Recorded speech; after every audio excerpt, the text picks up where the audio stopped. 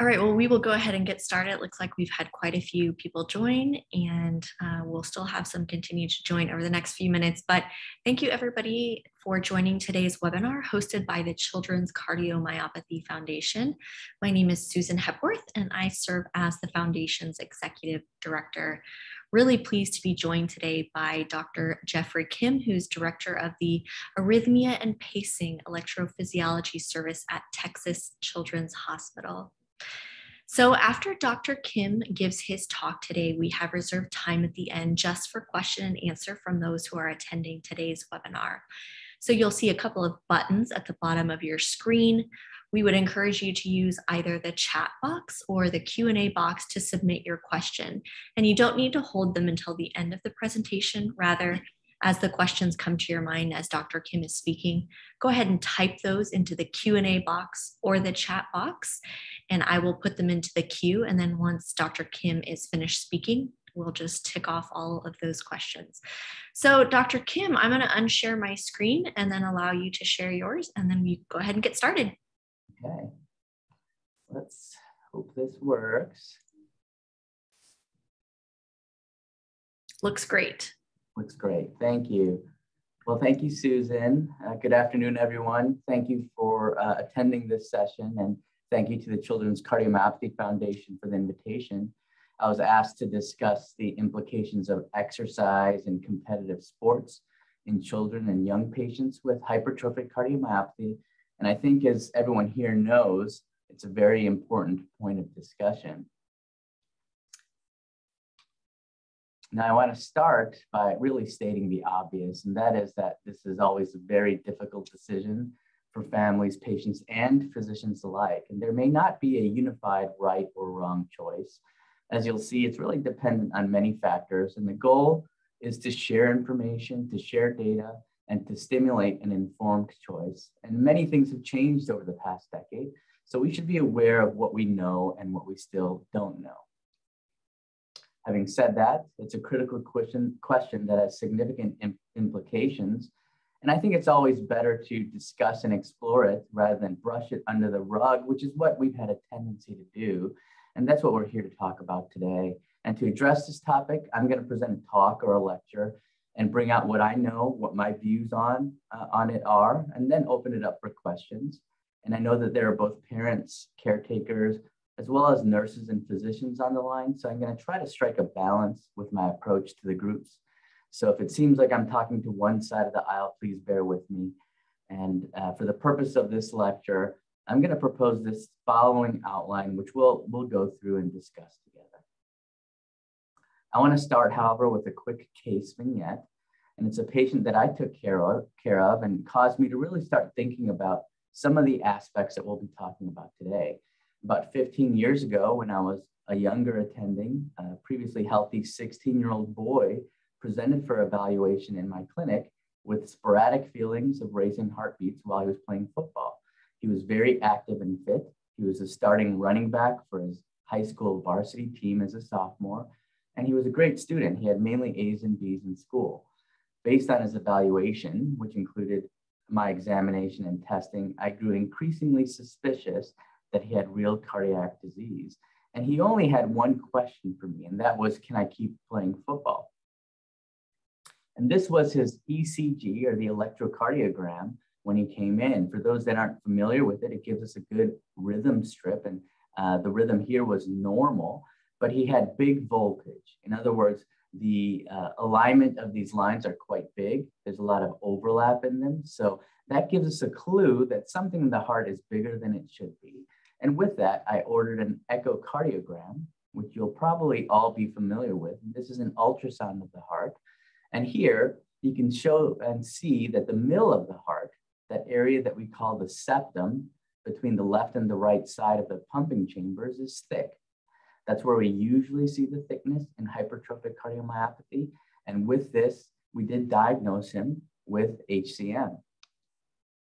Due to this diagnosis, and concern regarding the risk with sports and exercise and guideline recommendations at that time, he was restricted. And at one year follow up, he was morbidly obese and had a BMI, which is our best measure of obesity, of 41, which is quite high.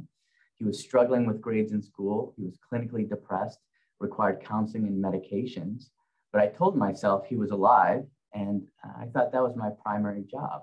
Now, the question that I was left with, and I've thought about quite a bit since then, is was that the best we could do for him? Are there other considerations? And how can we best help patients and families continue to engage life with their diagnosis of hypertrophic cardiomyopathy? So we're going to start with what we call guidelines.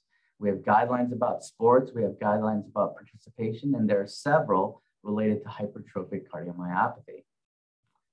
Guidelines are where physicians usually start, although it's not the definitive say all, meaning that it's not the only part of the equation. It's an important data point. As you might expect, these have changed some over the years, and rightfully so. A new guideline is released about every 10 years, and let's see how these have evolved or changed over time and where we stand today. Well, in 1985, the Bethesda Conference looked at some of this, and they essentially said if you have hypertrophic cardiomyopathy, common sense approach should be used, and they advised against participation in any competitive sport. So back then, if you had hypertrophic cardiomyopathy, really the recommendation was not to do anything.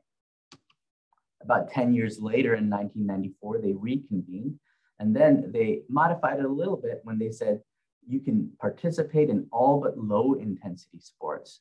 So most sports still restricted from, but they did open up what we call low intensity sports, which I'll show you in a second. And then 10 years later, the task force on hypertrophic cardiomyopathy reviewed it, and it didn't really change.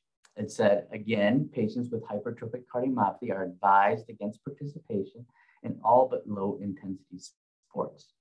Then, more recently, the AHA ACC guidelines in 2015, and these are the ones that most people are familiar with.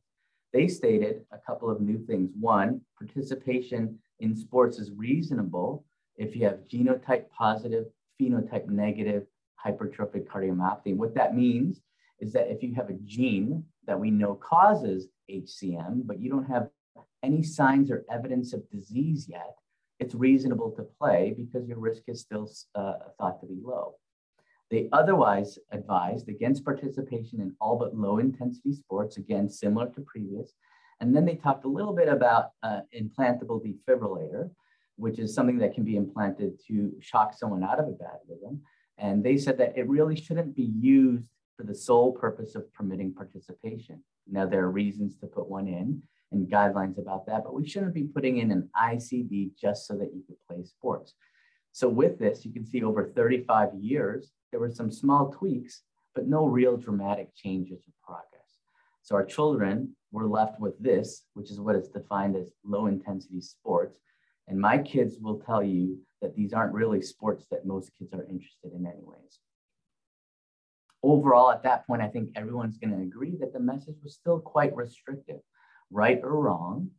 If you have hypertrophic cardiomyopathy, you shouldn't be involved in any of the sports that kids consider meaningful. But we all know that exercise is good and sports participation has advantages. So, what's the threshold and how much is too much? And can there be some degree of flexibility or individual responsibility in what we call shared decision making? Based on this, and based on research that we'll see today, newer management guidelines came out last year. They finally evolved a bit and they came out a little bit early because a lot of this new data really suggested that maybe we should have a change in how we think about it. What they said primarily was that for most patients with hypertrophic cardiomyopathy, mild to moderate intensity exercise is beneficial to improve fitness, quality of life, and overall health. So they put in a recommendation that said exercise in general for HCM is important. They said for most patients with hypertrophic cardiomyopathy, participation in low intensity competitive sports is reasonable, similar to what we saw before, and then stated that for patients with hypertrophic cardiomyopathy, participation in high intensity recreational activity or moderate to high intensity competitive sports may be considered after a comprehensive evaluation and shared discussion. So this is an important shift in paradigm. Before, we moved from not playing at all to playing some minimal activities to now, based on your individual assessment, the possibility on a case by case basis of participating even in high intensity sports. And when you take a step back, we can all see the progression of this recommendation scheme over time. In both the US and Europe, they moved from a recommendation of no participation at all to increasing tolerance and informed decision making to our current 2020 guidelines that we just looked at. To some, maybe that's enough. I know the guidelines and I don't really need to know anything else. I'm just going to follow that. But I think most of us here are here to learn about the why behind the guidelines and the recommendations and to know uh, and to know more about uh, what we need in terms of informed decision making. So what is the data surrounding these changes? How should we really approach this whole scheme? First off, what are we really worried about and why is this even an issue? And on top of this, how likely is it really to happen in my child or in my patient? Well, what we're worried about, and there's really no reason to beat around the bush, is sudden death. And the arrhythmias are abnormal rhythms that are really known to cause them. Because when you talk about sports participation, it's a balance. In these scenarios, we're asked to balance the acute risk of something bad happening, the risk of dying suddenly, along with the importance of exercise and the desire to participate. Again, we all know that exercise and sports can be good for you. And this can be important to families and kids in varying degrees. And lastly, the possible effect of exercise on the disease itself. Does exercise make hypertrophic cardiomyopathy, hypertrophic cardiomyopathy worse, or does it make it, maybe make it better? So we're balancing three elements, all of which have different priorities for individuals and families. Because the reality and what we have to start with is that hypertrophic cardiomyopathy has been a frequent cause of sudden death in the young. We know this. And historical studies that many of you have seen have consistently found that hypertrophic cardiomyopathy is a major player in sudden death in young, previously healthy people with undiagnosed disease, upwards of 30 to 40%. These are not specifically during sports, not specifically in athletes, but in general, we know hypertrophic cardiomyopathy can lead to sudden death. And we know that this can happen in sports, which we've all seen the reports and stories, and the societal implications when an athlete dies on the field, even beyond acute loss of life, are significant. So the reasons for starting with a conservative approach are well understood. We can't deny this, and for some, this risk is too high and outweighs any of the other considerations we're going to talk about. If you say, I want zero risk of something bad happening during sports, then the com- conversation really does stop there. And that's okay. To some people, that's where they draw the line. But for many of us, it's important to understand this better and to evaluate the other side of the equation. Digging deeper, why do children with HCM die suddenly? What puts them at risk? Well, the reason that people with HCM do die suddenly is usually due to an abnormal rhythm, a sudden abnormal rhythm, what we call an arrhythmia, specifically an arrhythmia called ventricular tachycardia, which means fast heartbeats from the bottom chamber of the heart. And this is an example of a teenager with HCM that we follow, where you can see he was having bursts of ventricular tachycardia. And sometimes it could lock in, accelerate, and turn into something significantly more dangerous, which leads to sudden death. This is the rhythm that we're worried about. So, how often does this happen? How often do we see ventricular tachycardia in our children? And beyond that, how often do we see it turning into actual sudden death? Not just population data with undiagnosed disease like we've historically seen, but in patients that we know have HCM and that we are following in clinic, like many of your children, how often does this happen? Well, here I'm going to start showing some data, the stuff behind the guidelines and the recommendations. And this is a recent big study that was just published six months ago.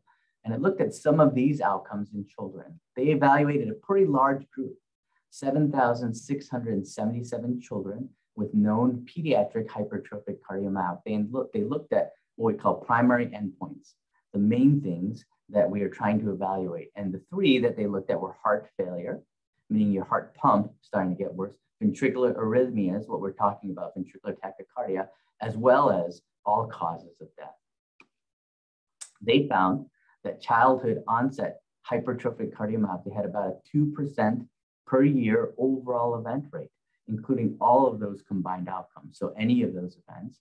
Ventricular arrhythmias were, however, the most common event in that pediatric age group, especially in that first decade after diagnosis. And lastly, when you compare to adults with HCM, childhood onset HCM was more likely to develop some of these rhythms, so did do a little bit worse than our adult cohort. And here's the classic graph or figure that they showed, looking at the rate of cardiac events over time. And what we're interested in and talking about is that yellow line, the ventricular arrhythmias. And interestingly, the risk of that ventricular arrhythmia has been pretty constant over time. The rate is 0.7% per year. So you can say that in general, in all children with hypertrophic cardiomyopathy, there is a 0.7% chance per year of having a ventricular arrhythmia. Again, this is not really during sports in particular, but overall in general. Also, although ventricular arrhythmias are what can lead to sudden death, not all ventricular arrhythmias result in sudden death. So do we know the rate of sudden death in HCM in this regards? Because that's ultimately what we really care about. And we have some data, although it's incomplete. In young adults, so this is uh, a little bit older than just young kids, but in young adults, the largest study shows a rate of sudden death about 0.5 to 1%. This makes sense based on what we just saw in terms of ventricular arrhythmias. In younger children, however, unfortunately, I think it's still less defined. We don't have a great number. There are several studies that have looked at this, but there's a lot of variability. The available studies show a rate of sudden death between 0.2 to 1.8% per year. So there's a range and a pretty wide range. We can say perhaps it's not super high, but it's real. And most of the recent data that we'll start seeing shows it's probably at the lower end of this. And that number range means different things to different people. Different patients and different families might consider it differently. Some of my families say 0.2% per year, the lower end, is just too high.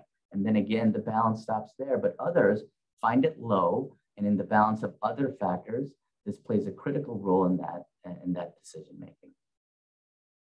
Additionally, although we're not going to talk a lot about this for sake of time, because it's not really the point of the webinar, but I did want to mention the implantable cardioverter defibrillator, the ICD. And this is an implantable device like a pacemaker that can, again, shock you out of a bad rhythm, shock you out of that ventricular arrhythmia if you've had it. And these ICDs have been shown to be effective in preventing sudden death in hypertrophic cardiomyopathy with good real world outcomes. And it works, and it can work, as you see in this patient, where their rhythm was shocked back to normal, and which was uh, uh, something that could save someone's life. As we saw in the guidelines, an ICD really shouldn't be placed for the sole reason of letting people play. It's not the reason that you could put people in sports, but an ICD is an important part of treatment algorithm, and again, something you should consider. Now, what are the other factors then? What are other components of the balancing equation? Let's look briefly at physiology. What we mean by physiology is how the body reacts to exercise and hypertrophic cardiomyopathy. And this is going to go, again, just a little bit deeper. All those numbers we looked at are general numbers in the population, not specifically during sports or during exercise. So, why the focus on sports? What happens to the heart with exercise in hypertrophic cardiomyopathy, and why are we worried about exercise and sports in particular? Well, the concern is that obstruction might get worse in hypertrophic cardiomyopathy and exercise. And this is a diagram of the heart. You can see blood as it comes in to the ventricle, the pumping chamber, and then goes out the aorta, which is where blood goes out to the body.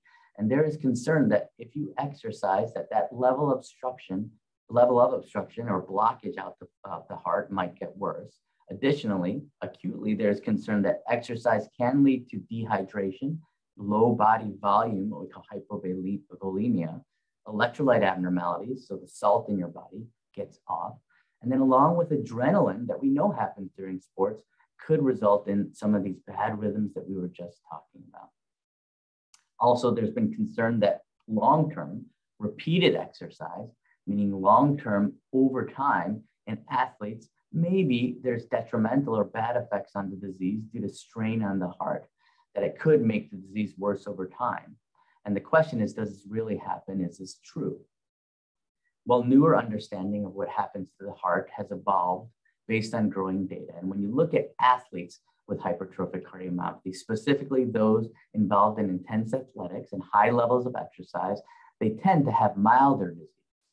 They have less thickness, so less hypertrophy, They have less obstruction, so less blockage of blood flow out. They have better function and no increase in scar over time. In other words, they have favorable or good long term parameters, better than what we were suggesting in terms of our hypothesis. So they don't get worse. And it looks like maybe it's possible that those that exercise actually get better.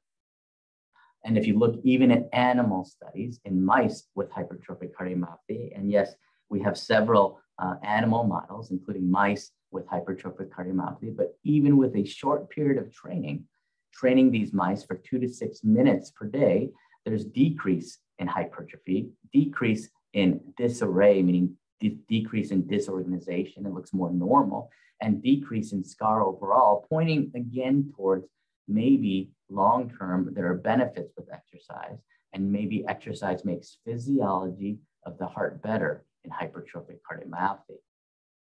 Lastly, and in that light, what we're talking about today, is there something that we call the paradox of risk in exercise? Remember, we're talking about sudden death. And what is the paradox of risk? Well, in other diseases like coronary artery disease, heart failure, or congenital heart disease, meaning children born with structural heart disease, there may initially be an increased risk with sudden death in exercise, but long term, the favorable or good changes from exercise that we just talked about reduces that risk over time. It might become protective.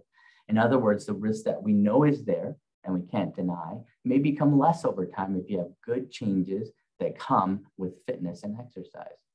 The question is, could this be true with hypertrophic cardiomyopathy? And I'm not saying that we know that this is true yet. This hasn't really been explored in HCM, but in other diseases it has. And is it possible that HCM will follow a similar kind of line? Then moving on, what's some of the newer evidence? How has our understanding evolved recently? And what are other considerations we should take in when we discuss informed decision making? Well, first off, we know that not everyone is the same. Some children with HCM do have higher risk for sudden death than others. So those general numbers we've been talking about, not only is there a range overall, but it's variable person to person. Is there a better way to predict which kids have the greatest risk? And this is a critical question. And we now have several studies in children in that regards that have looked at risk factors and several risk factors have been identified. Perhaps factors that we should take into account when we talk about sports and participation in athletics. These high risk factors include the history of previous cardiac arrest. So if someone had a history of having something bad happen already, they fall into a high risk group. Degree of hypertrophy, meaning if you have really thick or really hypertrophied ventricles in HCM, unexplained syncope or a history of unexplained passing out with exercise, non-sustained episodes of these ventricular arrhythmias. So documentation, as, as you followed up, documentation that these rhythms do exist a lot of scar in your heart when you get an MRI or evaluation, or a lot of obstruction to blood flow. These in general have been shown to be high risk factors. And if our children have one of these high risk factors, maybe we consider sports differently because the risk might be higher. Now, this is something that I think parents should bring up to their physicians when you're talking about sports. Does my child have one of these high risk factors and does it tilt our conversation in a different way? Unfortunately, all these studies really evaluate risk at baseline again. None of them are really looking during sports, but they are considerations to discuss when you talk about the balance. This brings us back to acute risk with sports. We've talked about general population data, but what is the risk in athletes with hypertrophic cardiomyopathy in the current era? And have we been able to better define this over time? Well, recent data suggests that the overall rate of cardiac arrest during sports, meaning in athletes with hypertrophic cardiomyopathy, may be lower than previously thought. In a Canadian database, something we call the Rescue Cardiac Arrest Database, it looked at competitive athletes over 18.5 million athlete years. So that's a long period of time with a lot of data. And the rate of sudden death during sports was 0.76 per 100,000 athlete years, so pretty low. And there were only two deaths attributed to hypertrophic cardiomyopathy in over 10 years in the Canadian experience. In a prospective multinational registry of patients with defibrillators that participated in competitive sports. So this is higher risk patients who've already been thought to be high risk and thus had a defibrillator, a defibrillator placed. 65 of these with HCM. So they're not all HCM, but 65 with. There were no deaths, no cardiac arrest, and one shock during exercise. And so there are, are some events, there is some risk, but overarchingly in this group, it seemed to be low. And specifically looking at recent observational data in athletes with HCM, the estimated risk of cardiac arrest during competitive sports keeps pushing lower, probably around 0.1 to 0.3% per year. So not zero, but maybe lower than previously thought. Again, that risk means different things to different people, and how it plays a role in the balance is different family to family. They're starting to have more focused studies, specifically looking at sports with HCM. And then in this recent study, it looked at athletes with known hypertrophic cardiomyopathy, and they were followed for many years. When they were diagnosed, they were uh, given the choice. You could continue to play your competitive sport, or you can pull out and be restricted. And when they followed them over time for many years, there was really no difference in the rate of events meaning arrhythmias or sudden death, between those who stopped playing and those who continued to play at high level athletics. And that top line there is really those that continue to play sports. And the bottom line is those who decided to stop. And you can see that the rate of events, if anything, is a little bit better in those who continue to play. Importantly, the majority of the events when they did happen occurred at rest and not with exercise. Another broader study looked at 366 competitive athletes with high risk disease. 23 of these were hypertrophed, so not all, again, a small part of them were hypertrophed here. And the average age was 15, so mostly teenagers. They compared those who continued to play sports, competitive athletics, versus again, those who decided to stop. And in this group, bad events, meaning having cardiac arrest or dying suddenly, was less frequent in those who continued to play sports and events predominantly occurred again outside of sports. And if you look at other data in young people with hypertrophic cardiomyopathy, we know that 85% of events occur at rest or with light activity, suggesting that it might be misguided to really be focusing on sports alone. It's not that events don't happen, they can happen with sports, but usually when events happen in HCM, it's still with rest or not with competitive athletics outside of acute risk then, what about the benefits of exercise? We know that exercise in general is good for you.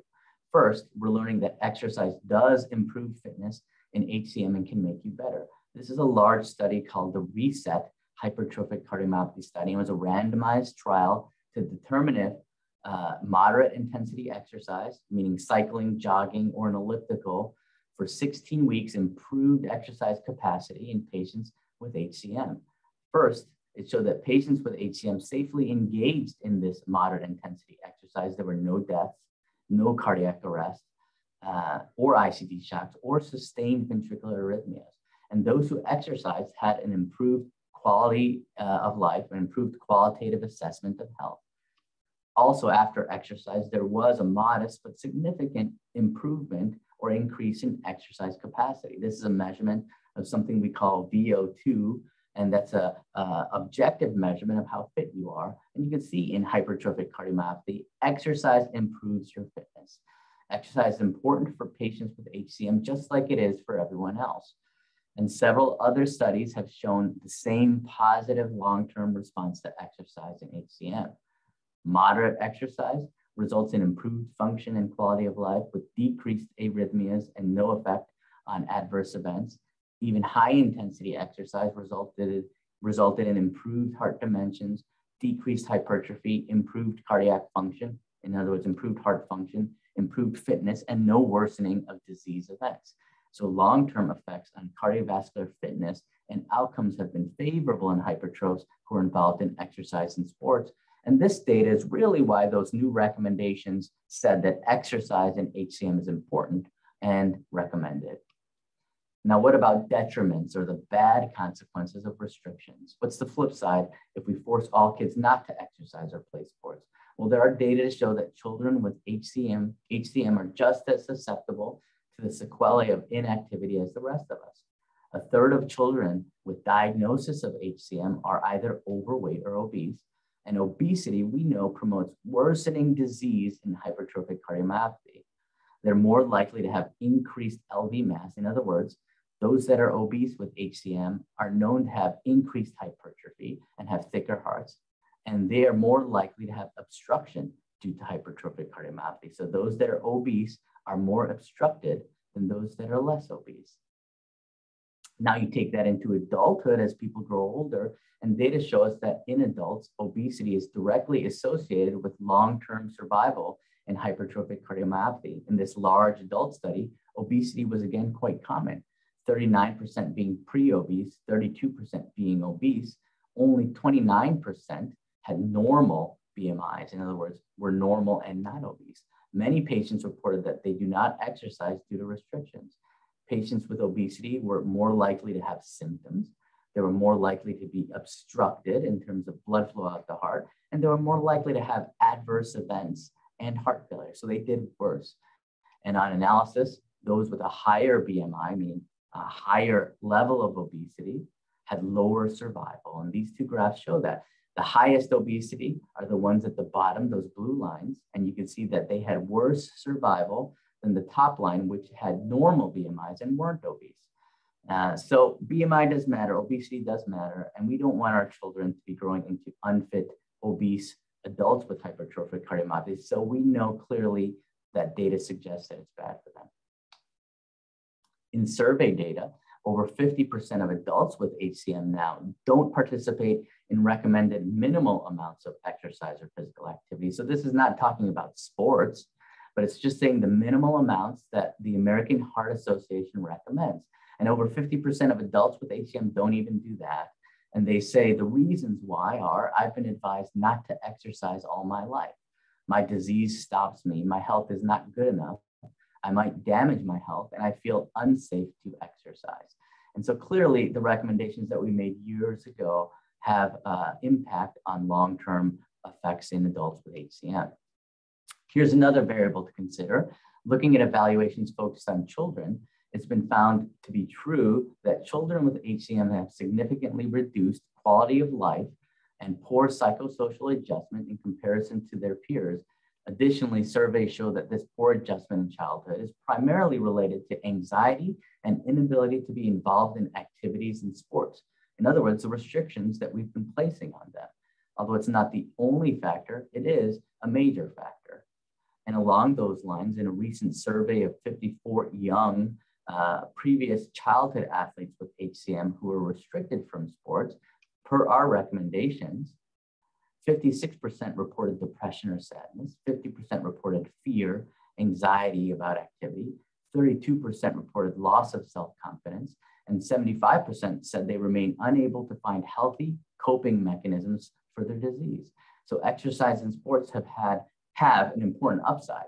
And this balance that we talked about in the beginning is something where we have to consider all of these factors. We can't divine this balance for people. People have a different balance of what's important and it's personal, but these are factors that we have to consider.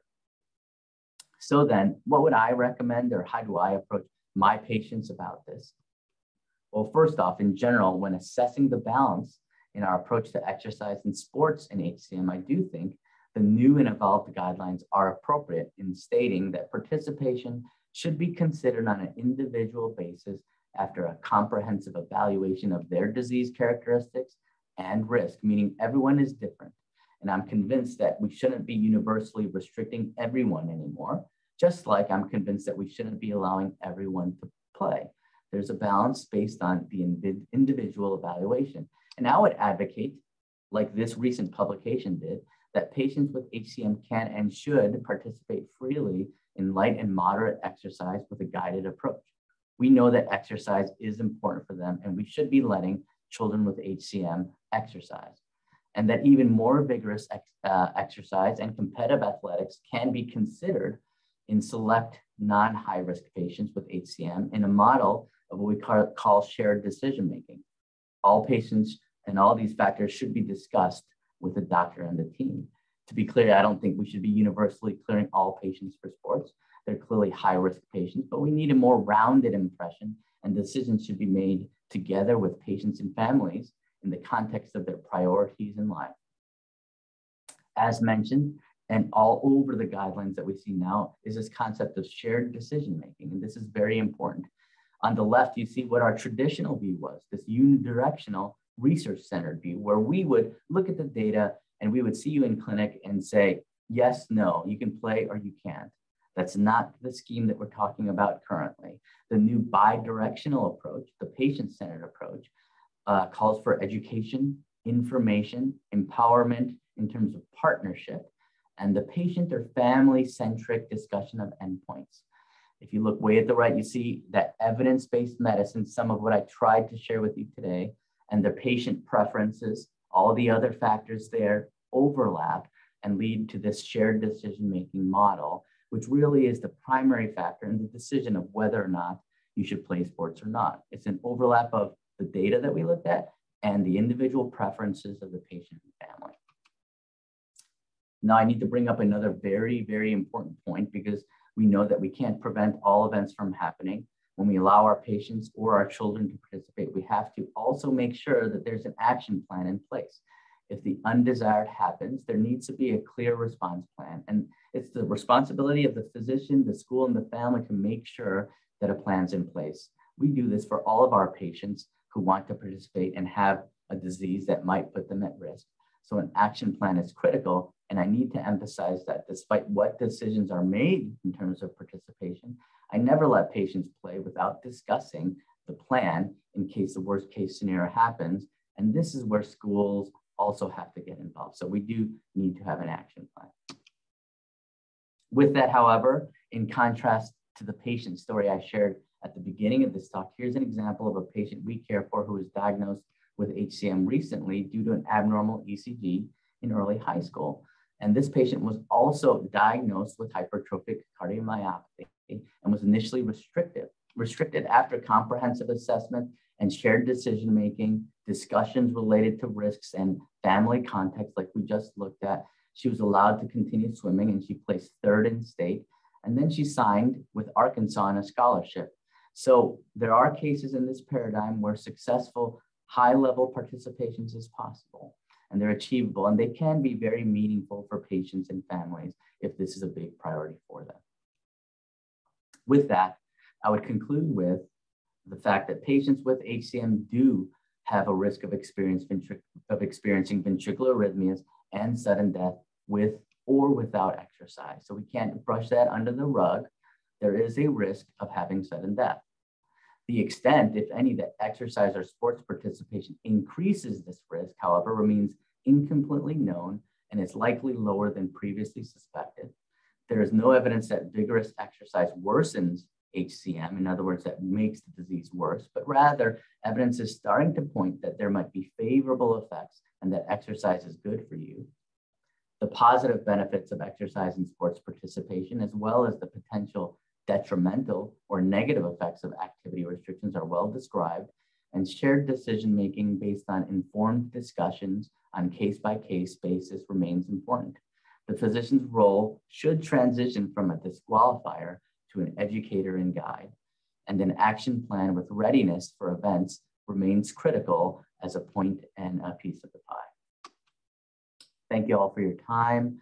I know it's a very complex thing, uh, and uh, uh, as we discussed, it's a very individual thing, but I do want to open up the floor for questions.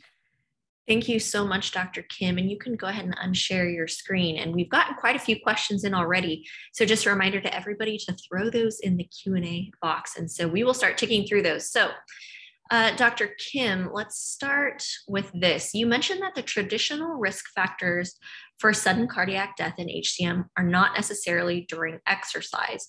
My understanding is that many of these factors do not accurately predict risk of arrhythmia and sudden cardiac death during exercise. And it's difficult to really risk stratify an individual person. How do you convey this uncertainty to your patients? And specifically, the difficulty of how we can't reliably risk stratify their risk of arrhythmia or sudden cardiac death with high intensity exercise? Mm-hmm. Yeah, that's that's an excellent question, and I'm I'm glad that uh, that nuance was picked up on uh, because the reality is that most of our data on risk is just general in hypertrophic cardiomyopathy. And I think most practitioners would say that those risks whether they're at rest or during exercise, probably do play a role across the gamut, but they aren't risk factors that are specifically looked at in exercise. And like I said, the specific risk with exercise is evolving. There are a lot of small studies that suggest that patients uh, can participate in sports and they uh, can do well with it, but it would be hard for someone to be able to say, I know the exact percentage. I think overall, if you are a low risk hypertroph, meaning you don't have some of those high risk factors we saw, that participation in sports is not real high in terms of that risk. We saw that range in general, but um, the definitive absolute number still isn't isn't well known, and that that range means different things to people. So when I talk to patients, I'm pretty clear about that, and I say in general what I feel the range of risk is, but that we don't know for sure. And for some families, that amount of risk, that 0.2, 0.3% risk per year is too high. And then when you balance it with those other factors, they say it's not worth it. But for many people, that general range risk, when you uh, weigh it with the other factors, and if sports is really a big, important part for the child and the family, say that that risk is acceptable. Um, but but you're right. There's no perfect percentage, and as of now, we're heading there. But as of now, we don't really have a great risk stratifier for during sports. Okay, got a few questions from parents here. Um, my seven year old has a severe HCM and had a heart failure playing tag in school. They installed a pacemaker defibrillator next to the liver, a low weight child. What kind of mild sports can we propose to him not to increase his risk? It's the definition of the various sports levels that we are not understanding. Yeah, also a very good question. And um, some of those definitions have been defined. I didn't show the chart, but I showed that little clip of what we call low intensity sport that just talks about sports, but not exercise. Uh, I think in general, there's two factors uh, for your son. One is the defibrillator. The defibrillator in general has been proven to be okay and safe in most activities and sports, but there are some contact related things that you would not want him to do because what you don't want to do is break the defibrillator where it wouldn't work and uh, he needs other procedures. So things that are high risk for trauma, even if they're lower aerobic risk, like things where there's a lot of collision and those kinds of things, I think are the ones that from a defibrillator standpoint you want to avoid. So contact sports. In relation to just the hypertrophic cardiomyopathy, uh, meaning taking the defibrillator out of that picture, uh, he's probably proven that his risk factor is a little bit higher than the general population, given that he's had an event or something happened there. And so it is someone that we would be more careful about the higher intensity things. But we know that exercise in general is important, and light intensity guided exercise usually means that you ramp that up with discussion of the physician which means generally starting with walking and jogging and participation in general kid related activities are normal. Where it becomes a little bit more complex is when you get to middle school and high school and you talk about the intensity level of sports. And that's where some of the guidelines do have that delineated for you. Again, the low intensity sports really talk about things like golf and, um, and those related issues, but, but those are published, which we can, we can share with you through the CCF if you'd like those. Great, thank you. Great. Uh, this person says, Thank you so much for this talk. My son has an ICD after cardiac arrest four years ago. He has done well. At that time, genetic testing was inconclusive. At what point do you recommend repeat testing? Mm, well, that's a great question, and it depends a little bit on the breadth of the panel that was sent.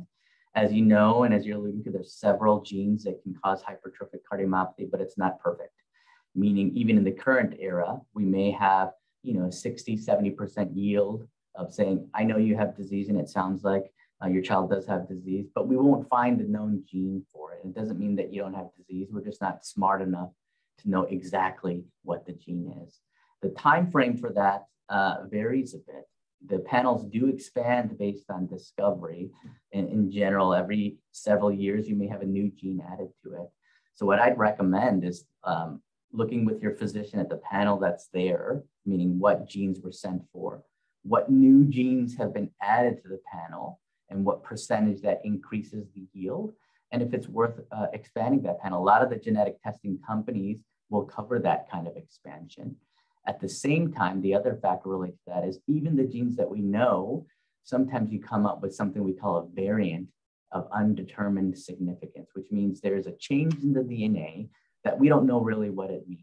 That should be reviewed and reevaluated. Uh, we do that at every visit. So if you came back for your yearly visit, we would look through your genetic testing and say, we've looked a little bit more at this variant and it may lean one way or another. But it depends a little bit on what the genes were sent for. Uh, we would review that test every year and then decide on whether or not an expansion is reasonable. There hasn't been a lot that's changed in the last few years. So if it was four years ago, I think probably you won't get a huge increase in yield from expanding it. But I do think that as years go on, you would revisit that. Okay. A couple more questions here. If patients have no LVOT at rest, do you use stress echo to assess the presence of obstruction with exercise? Also, an excellent question because it sounds like you've looked at some of the old data. The reality is that a lot of that has changed over time. Obstruction with exercise used to be one of the big criteria in terms of looking at risk uh, including uh, at risk with exercise. Even here at Texas Children's, we looked a, uh, a while back and it looked like increasing obstruction with exercise may play out uh, as a risk factor in terms of having sudden death for hypertrophic cardiomyopathy. But most of the recent studies, the bigger ones from 2018 to 2020, have found that that level of obstruction um, isn't as big of a factor in terms of risk as some of the other factors. So I think it's probably a factor that you have to consider, but the amount that you would put weight on that um, not as big as, as we once thought. And so uh, we used to run all of our hypertrophs on a treadmill pretty regularly for what we call risk assessment. Uh, we don't do that as regularly now. And so, uh, depending on the scenario and other risk factors, we might, but not kind of a universal kind of thing. So, we don't uh, repeatedly run people to measure how that gradient is changing. Okay. All right, uh, this question comes from Brittany, who's actually one of our parent ambassadors at the foundation. My son has a double mutation of the MYBPC3 gene. Does that make a difference or impact differently with physical activity? Um, we don't really have data on that. Uh, and it's an excellent question, whether it's a double hit or the specific gene, for example.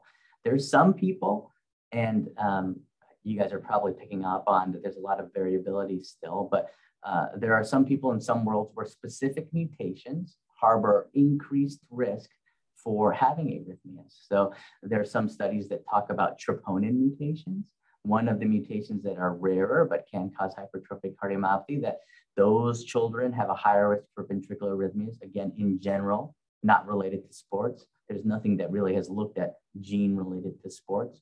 Um, but I, I, I, would have to say I don't have a great answer to that question, whether or not there's increased risk from uh, a double hit or two mutation kind of thing.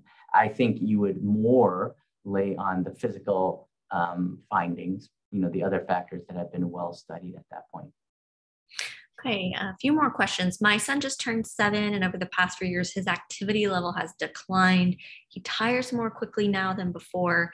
He received an ICD when he was a year old due to passing out twice. Would exercising worsen or possibly help him?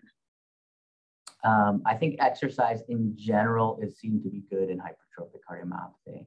And so, again, exercise is uh, on a spectrum of how intense you go, obviously. But uh, I think when you talk about people getting older, and it's it's very difficult as uh, especially as you get older into the teen years. Sometimes you have children that just don't want to do a lot of things.